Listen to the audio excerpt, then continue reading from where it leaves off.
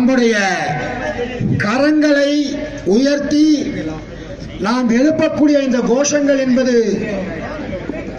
மோடியினுடைய அமித்ஷாவினுடைய செவிப்பறைகளை கிழிக்கக்கூடியதாக இருக்கின்ற வகையில் இருக்க வேண்டும் என கேட்டுக்கொள்கின்றேன்.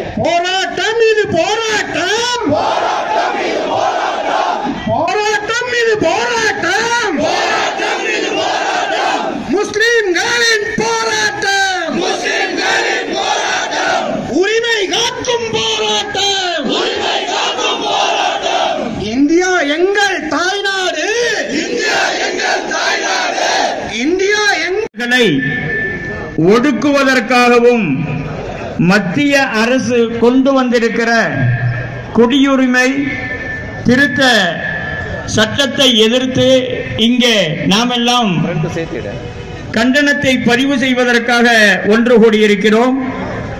இங்கே எனக்கு வழங்கப்பட்ட தலைப்பு வாழ்த்துறை.